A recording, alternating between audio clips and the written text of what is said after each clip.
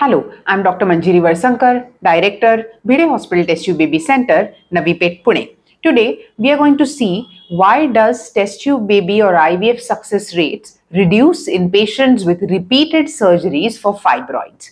Now, fibroids, as we know, are nothing but masses of the muscle which are seen in patients who are suffering from infertility. It is very common beyond 35 years of age, may or may not produce symptoms. Most of the times, the ladies do complain that we are having a lot of pain during periods or very heavy menses, which are disproportionate to the age, and ultrasounds coincidentally may show fibroids.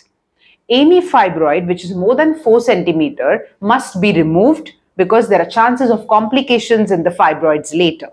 However, there are patients who undergo these surgeries very repeatedly because there are very high chances of recurrence of fibroids in the first place.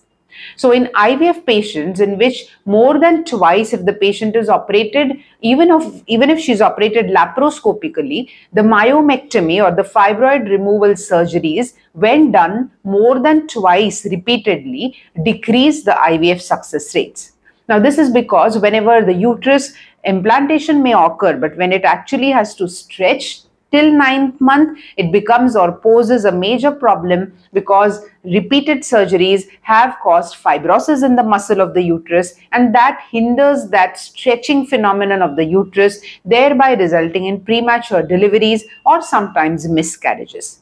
So unless your fibroids are more than 4 centimeter or space occupying or indenting your endometrium, we generally avoid repeated surgeries even in patients of fibroids to protect this elasticity of the uterus. Thank you.